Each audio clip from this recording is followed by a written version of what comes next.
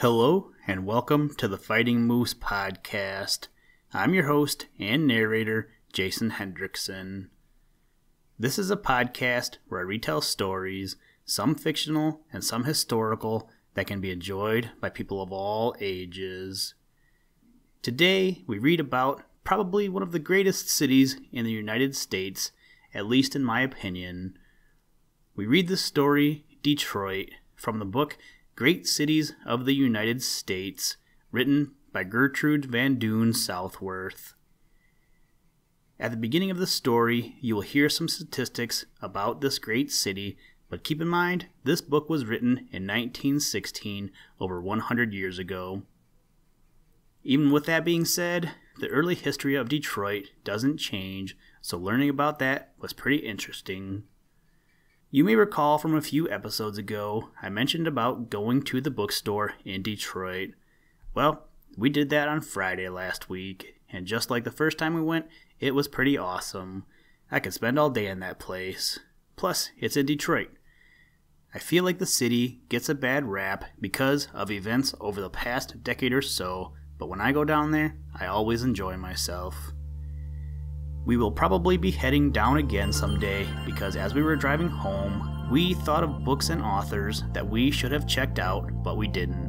Oh well, I don't think they're going anywhere anytime soon. Now, let's turn to today's story. I hope you enjoy. Let's begin.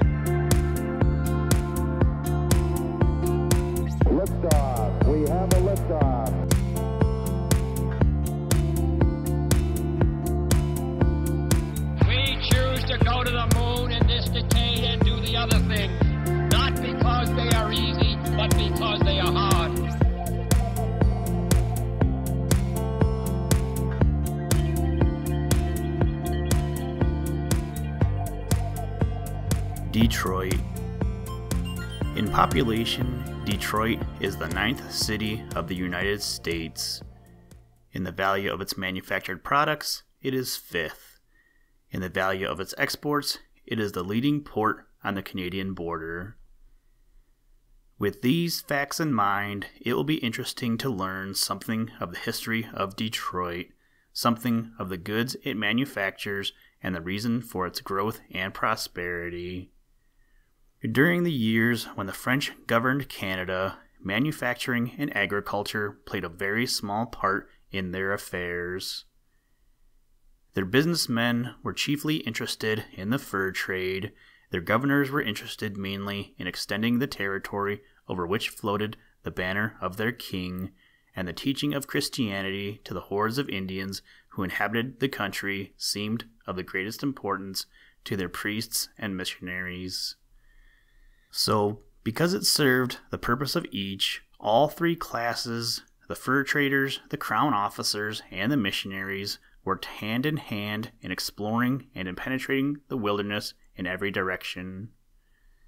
They suffered every hardship, endured every privation, and very often fell victims to the cruelty of the savages.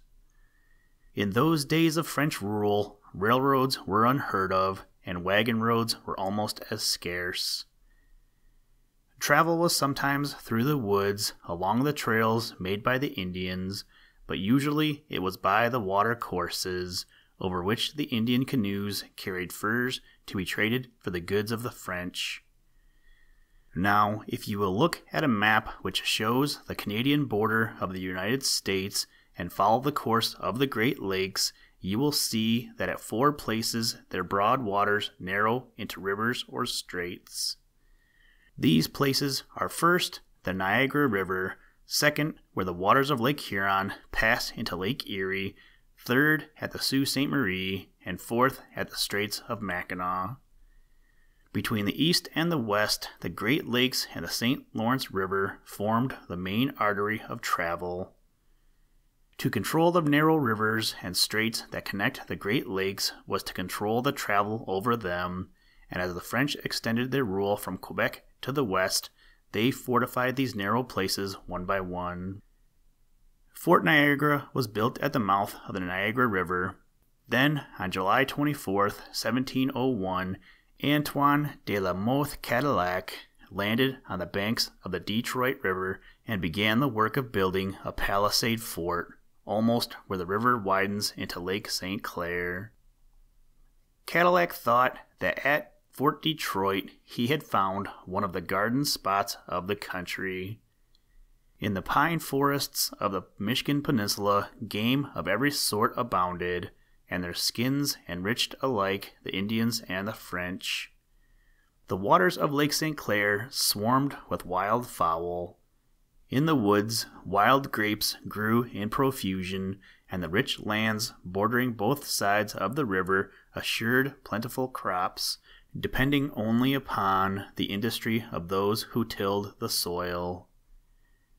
However, in spite of his enthusiasm over the beauty of the site, Cadillac proceeded to lay out a very ugly little town with rude dwellings huddled along narrow, muddy streets. Such as it was, Detroit remained under French rule for 59 years, becoming one of the most prosperous of the French outposts. The Indians were, for the most part, friendly with the French, and in 1760 the place had a population of 2,500, which made it of great importance in the sparsely settled West. Then came the years of the French and Indian Wars, and finally the French, having lost Quebec, were obliged to surrender to the English. So in November 1760, Detroit was given up to Major Robert Rogers in command of a detachment of British regulars and American militia. The English were not allowed to remain long in undisturbed possession of their new outpost. Pontiac, chief of the Ottawas and one of the craftiest of all Indian warriors, was friendly to the French. In 1763, through his immense influence with all the western tribes, he organized a conspiracy to drive the English from the territory which they had won with such difficulty. Detroit was one of the first places to be attacked.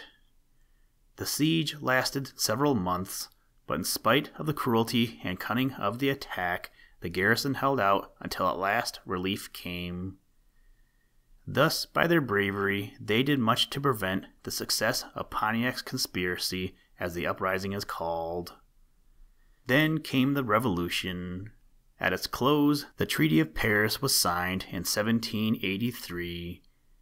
By the terms of this treaty, Detroit, together with the other British outposts in the West, became the property of the United States. However, it was not until 1796 that the place was actually occupied by American troops. Sixteen years later, Detroit again passed into the possession of the British. This was during the War of 1812 and followed the defeat of General William Hull's ill fated expedition into Canada. Falling back to Detroit, Hull was attacked and surrendered to the British after half hearted resistance. A little more than a year later, however, in October 1813, Oliver Hazard Perry won the famous Battle of Lake Erie. This gave the Americans control of the lake, and the British soon abandoned Detroit, which has since remained in the possession of the United States. Detroit had prospered but little since 1760 its inhabitants were for the most part easy-going Frenchmen. They were not suited to the strenuous work of city building. Detroit, instead of growing larger, was becoming smaller, and when, in 1820, the United States took a census of the place, it had but 1,442 inhabitants as against the 2,500 that Major Rogers found in 1760. But from 1820, the growth of Detroit has been continuous. In 1825, the Erie Canal was opened, furnishing an easy means of communication from the east to the west. Then came a great tide of immigration to all the states bordering on the Great Lakes. Michigan was one of the first to profit, and Detroit was the gateway to Michigan. Most of the pioneers who sought homes in the West were farmers. The life of cities and villages offered few attractions to them. The number that stayed in Detroit was small as compared to the number that passed through into the back country to clear the woodlands and take up the work of agriculture. But as the back country filled up, there came a demand for things in which cities deal, while at the same time there came the need of places where the products of the farm could be gathered together ready for transportation to the eastern market. In this way, Detroit began its great growth. It bought the wool and wheat which the Michigan farmers raised and shipped them east. It bought from the east the dry goods, hardware, and various other things which the Michigan farmers needed and distributed them. It grew prosperous as the country back of it became more populated, and as the population became richer and able to buy larger amounts and more expensive goods, Detroit reaped the advantage. Then, too, the traffic on the lakes became more important, requiring larger and better vessels. Detroit has one of the best harbors on all the Great Lakes, making it splendidly suited for the building and launching of vessels. Always engaged more or less in shipbuilding, Detroit improved its shipyards and kept pace with the demand. Today, it builds all types of vessels, from magnificent passenger steamers to the great steel ore ships which carry the iron ore of the Lake Superior districts. It was in 1860 that Detroit began to take its place among the industrial cities of the country. Now it is fifth among the cities of the United States in the value of its manufactured products. Let us see what its chief industries are. First of all comes the manufacture of automobiles and the parts of which they are made. It is estimated that more than half of all the automobiles made in the United States are built in Detroit factories. Until 1899, there was not a single automobile factory in the city. Today, there are over 30, many of them covering acres of ground. As few of the automobile factories make all the parts of their machines, there are in Detroit many shops for the manufacture of steel, aluminum, and brass castings, and of gears, wheels, and various other automobile parts. Another of Detroit's important industries is the manufacture and repair of steam and electric railroad cars. These are largely freight cars, although many passenger cars are also made. Other lines of business include foundry and machine shop products, the making of druggists' preparations, the manufacture of flour, the packing of beef and pork, and the preparation of other food stuffs. Then Detroit makes great quantities of soda ash and alkalis. This industry Detroit owes to the fact that here are found both limestone and salt, which is obtained from wells driven along the river bank. Both of these materials are required in the manufacture of soda ash. The printing and publishing business gives employment to thousands. So does the manufacture of paints and varnishes.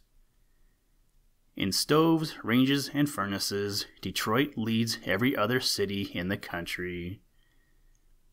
It is interesting to know that Detroit makes great numbers of adding machines that it is the largest producer of overalls in the country, that it is a center of the brass industry, that it turns out more than 300 million cigars each year, and that it is one of the largest producers of wrought and malleable iron castings. The entire business of a city is, of course, never wholly manufacturing. Part of its business is always the distribution of things to supply the needs of its inhabitants and of the people who live in the surrounding country. When these goods are sold in large quantities to merchants who in turn sell them to the person using them, the business is known as a wholesale business. When they are sold by the merchant directly to the user, he does what is called a retail business. The wholesale business of Detroit is very large. Its merchants do the larger part of the wholesale business through the entire state of Michigan and in parts of northern Ohio, Indiana, Illinois, Wisconsin, and Minnesota. They even furnish certain supplies to some parts of Canada. Dry goods, drugs, hardware, and groceries are the principal things in which Detroit wholesalers deal. Detroit has also many large retail stores which supply not only the people who live in the city of Detroit, but those in the surrounding country as well. Thanks to the many suburban electric railroads and the many steam roads, the people who live in the smaller places are able to come to Detroit to purchase things they want. Now, let us take our map again and notice the location of Detroit in relation to the rest of the country, for location, as you know, has very much to do with the growth of cities. We find in the first place that it is separated from Canada by only the width of a river, so we are not surprised to hear that Detroit is one of the principal points for the exchange of goods between the two countries. The two most important Canadian railroads have terminals at Windsor on the Canadian side of the water and also at Detroit. A very large part of the United States finds Detroit the most convenient point from which to send its products into Canada, since goods can so easily be brought to Detroit by water or rail. Statistics issued by the United States government show that of the 18 custom houses on the Canadian border, the one at Detroit does the largest volume of business. Then, too, by the lakes, Detroit can reach all of the American lake ports, and from Buffalo through the Erie Canal, it can even reach New York. The many railroads which serve Detroit gave it excellent communication with all parts of the United States. The Michigan Central Railroad dives under the river from Detroit to Windsor through one of the most remarkable tunnels in the world. For years, the cars of the Michigan Central Railroad, both passenger and freight, were carried across the river on ferry boats. This, of course, was a very slow way of crossing, but a bridge was impractical for various reasons, so at last it was decided to build a tunnel. When the engineers studied the river bottom, they found that it was covered with mud so deep that it was impossible to build a tunnel under it. Instead, they built the tunnel of steel on the river bank, and when it was completed, they sank it in sections and then fastened it together. Two belt line railroads extending from the riverbank circle through Detroit. One is some two miles from the center, the other six. Along these railroads are many factories which have switches directly into their plants. This makes shipping a simple matter for the Detroit manufacturers. Now, having learned something of the history of Detroit, something of the manufacturing which it does and the commerce it carries on, let us take a look at the city itself. The older parts of most great cities are badly laid out. In very few cases do men realize that their little settlements are to grow into large cities, and so they pay little attention to laying out streets. But in building their houses, follow the farm lanes and often the paths made by the cows as they are driven to and from the pastures. This is not always the case, however. Washington was laid out long before it ever became a city, and in consequence, it has magnificent broad streets and many parks. Detroit was one of the badly laid out settlements, but in 1805 a fire burned every house in Detroit with one exception. Now, at that time, Judge Augustus B. Woodward was a prominent figure in the city government. When the fire wiped out the old town, the judge thought that a plan should be made for Detroit just as had been done for Washington. His idea was to have a great circle called the Grand Circus in the center of town. Two streets 120 feet wide were to cross the circle, dividing it into quarters, and from the circle, other broad avenues were to radiate in all directions. As the city grew, other circles were built with streets radiating from them. Unfortunately, the citizens of Detroit did not have the belief in the growth of their city that Judge Woodward had, and so his scheme was only carried out in part. That part, however, gave to Detroit its grand circus, its broad avenues, and its downtown parks, and did much to earn for the title of the City Beautiful. Detroit today has many splendid and costly residences. It also has street after street filled with comfortable medium priced houses where the workmen live, and its people are fond of boasting that it is a city of homes. Woodward Avenue, which is 120 feet wide, is named after Judge Woodward. This avenue runs from the riverbank right through the entire city. At its lower end, it is the principal retail street of the city, while farther out are many fine residences. As the town grew, a boulevard was built, which, starting at the river, runs completely around the city at a distance of some two and a half miles from the center. This boulevard is known as the Grand Boulevard and is more than 12 miles long and from 150 to 200 feet in width. In the center is a narrow strip upon which are grown flowers, trees, and grass, while upon either side run macadam roads. The most popular of Detroit's parks is Belle Isle. This is an island of about 700 acres directly opposite the city. Originally, the island was for the most part a swamp infested with snakes. In order to get rid of the snakes, a drove of hogs was turned loose on the island, and for a long time it was known as Hog Island. Then the city bought it and turned it into a park. The swamps were drained, and lakes and canals were built, which in the summertime are covered with canoes and boats. In the winter, they make excellent places for skating. Playgrounds, baseball fields, and picnic grounds were laid out, and a zoo was built, as well as one of the best aquariums in the country.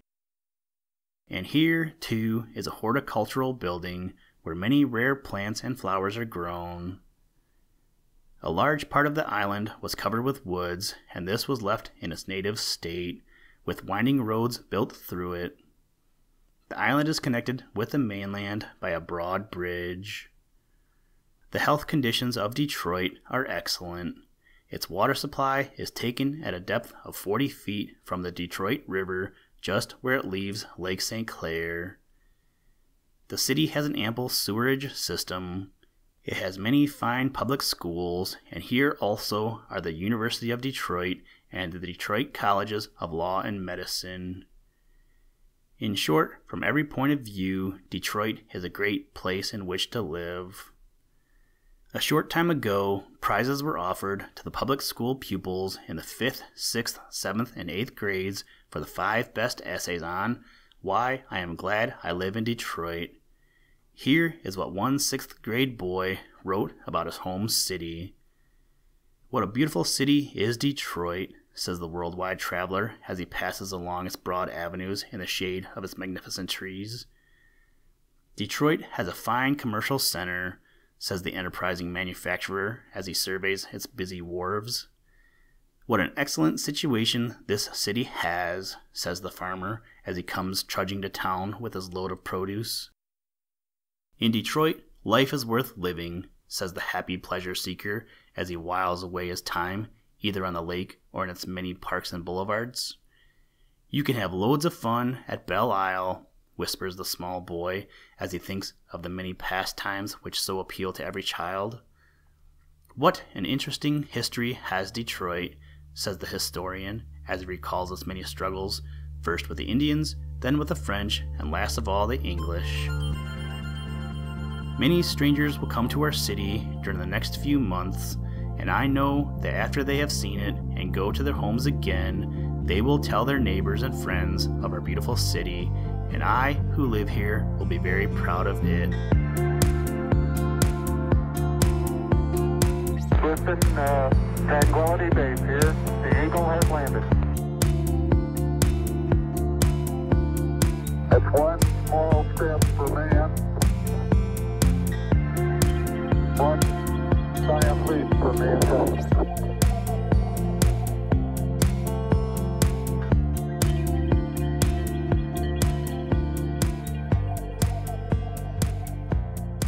Thank you for listening to this episode of the Fighting Moose podcast. Please join us next time as we read another exciting story. Today's music was provided by the artist Analog by Nature, and the audio clips were provided from NASA. For more information to download and or listen to audio or materials from all our recordings or to contact us, please visit www.thefightingmoose.com or you can follow the links in the show notes. If you enjoy the podcast, please leave us a review wherever you get your podcast or on iTunes and tell a friend. Thank you for your patronage, and as always, try and do a random act of kindness every day. Mission complete, Houston. After uh, serving the world for over 30 years, the space shuttle turned its place in history.